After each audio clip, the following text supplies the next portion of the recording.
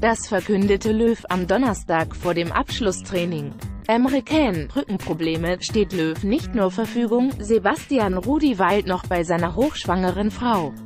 Für den Vergleich mit Rekordweltmeister Brasilien am Dienstag 20.45 Uhr in Berlin plant Löw Veränderungen. Ich werde Mannschaft in beiden Spielen nicht identisch auflaufen lassen, sagte Löw.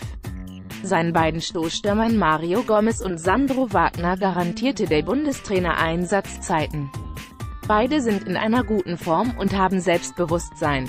Das merkt man auch im Training. Ich werde beiden Spielern einen Einsatz ermöglichen, sagte Löw. Zur WM in Russland, 14. Juni bis 15. Juli, wird er aber wohl nur einen echten Mittelstürmer mitnehmen.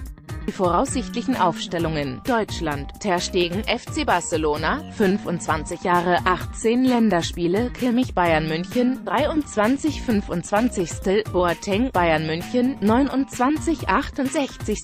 Hummels Bayern München, 29 62. Hector 1.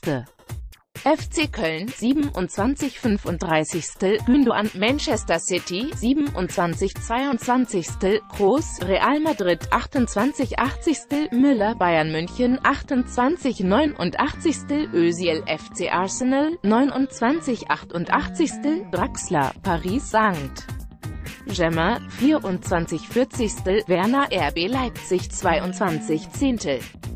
Trainer, Löw Spanien, Le Gea, Manchester United, 27 25. Carvajal, Real Madrid, 26 13. Peak FC Barcelona, 31 94. Sergio Ramos, Real Madrid, 31 149. Jordi Alba, FC Barcelona, 29 58. Isco, Real Madrid, 25 25. Coque, Atletico Madrid, 26 36. Iniesta, Manchester FC Barcelona, 33 123. Silva, Manchester City, 32 118. Diego Costa Atletico Madrid, 29 18. Asensio, Real Madrid, 22 Achtel.